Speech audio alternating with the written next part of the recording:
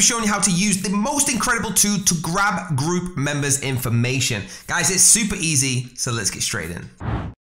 So on the WhatsApp sender, you want to go to grab group members, okay, and click grab now. Now you initiated it by clicking click to initiate. And number two, you need to start grabbing. Okay, so hit the start grabbing and you're going to go through what you want to go through here. All right, so if you want to grab all the groups, that's fine. Select the ones you want to grab and press select. Okay, what that's going to do is download this straight to your computer. So choose maybe this PC or desktop and choose the name you want to save it to. Okay, once you've done that, make sure you choose a name you're not going to get muddled up with because I have so much stuff on my desktop. Okay, simply open up that file. Once you open up, it's actually an Excel format. Okay, and it's going to have it very, very cleverly written out for you. So you can see here how you've got the group members numbers right here. So you can go into any WhatsApp group there is and simply take every single person's number. Guys, this is fantastic. All right, this is an incredible tool that with one click you can literally take every number in a group chat in seconds. You don't have to go through and save every single contact. Guys, it's super, super easy and I'm super, super excited to be using this tool right now. Guys, use it and utilize it, okay? That's how you get group members. Guys, thank you so much for watching. Hit that link down below to get this tool and just trust me, this is gonna utilize your time